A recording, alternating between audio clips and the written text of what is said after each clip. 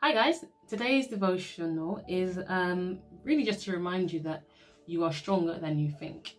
So in life, generally, um, we go through trials, we go through difficult times, and in those moments, we can be tempted to just uh, focus on our weaknesses, focus on our inadequacy, focus on the fact that we are small in comparison to the situation, and really sort of just look down on ourselves in terms of how we can actually bring a solution.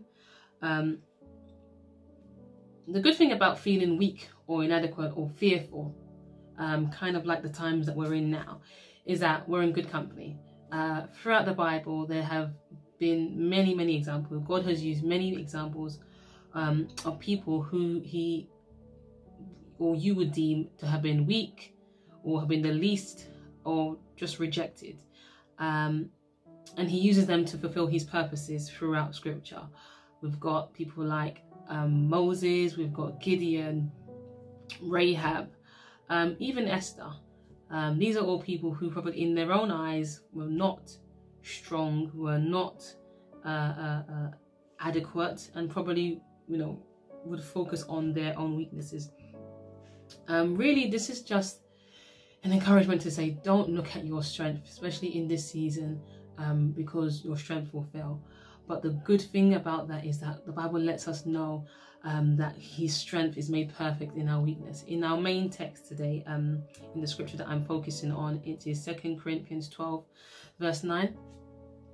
And basically, um, Paul, God told Paul, He says, like, your strength, basically, my strength is made perfect in your weakness. Um, and so, even when we feel small in comparison to the situations around us, um, right now, particularly, uh, we you might feel sort of like, what can I do in this situation? You know, I'm just one person in comparison to this global uh, uh, uh pandemic. Um, God basically reminds us that actually you're in a good place because in that moment, my strength is made perfect um, and I can work with you. when we look at what that practically means, um, strength really is not about what you look like or what you feel feel. It's about what you can do. Like even if you look in the physical, strength is actually about what your body can do and not necessarily about how it looks. Um, it's about what your body can endure.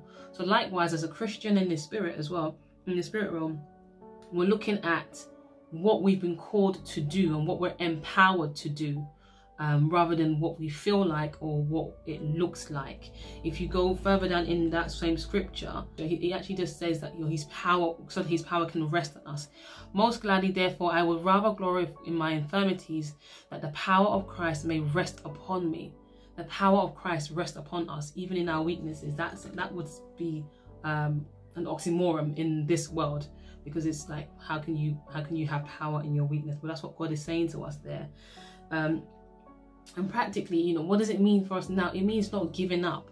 It means persevering. It means hanging in there when everybody is, is, is continuing to talk about the gloom. And it's so tempting to just throw your own two pence in there about the negativity about this and about the toll, you know, counting the death toll here and all sorts of things. It's even beyond what we're going on, what's going on currently right now. Um, strength is about holding on, you know, even in the physical, you know, strength is about resisting that that uh, that um, feeling of giving up or quitting and, and just persevering that little bit longer.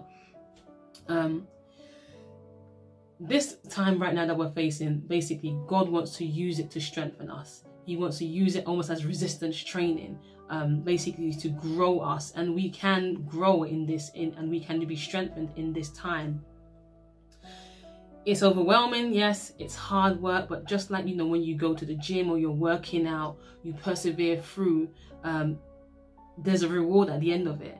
Um, when we're going through this we know that actually greater is he that is in us than he's in the world. And not only is he that is in us he that surrounds us he that is fighting for us and he that is dedicated to our betterment. You know is we're not by ourselves in this we're not alone um, like I said, He wants to strengthen us in this time. He wants to build us up.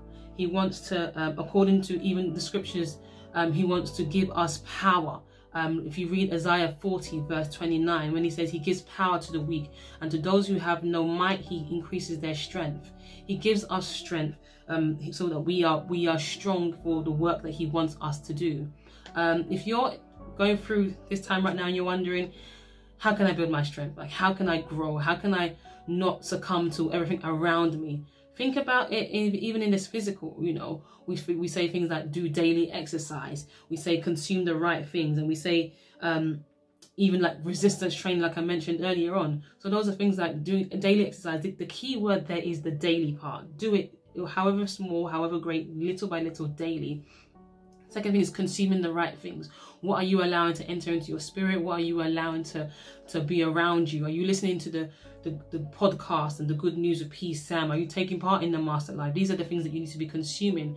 And then the like we said, the resistance training, are you pushing yourself beyond what you're normally comfortable with? Are you pushing yourself with you know with your prayer? Are you pushing yourself with your with your quiet time? Are you pushing yourself seeking god? Because in that resistance in that training even as we're in this climate now you'll be surprised what you can do and what you actually have in you. Um, like i said this is just to remind you that you are actually stronger than you think. Um, god knows it. The enemy knows it and that's why he throws a lot at you but you're stronger than you think um, remember, according to his scripture, his strength is made perfect in our weakness, that his power may rest upon us. We have work to do. Let's go in his strength in this week. Let's encourage ourselves. Um, yeah, God bless you.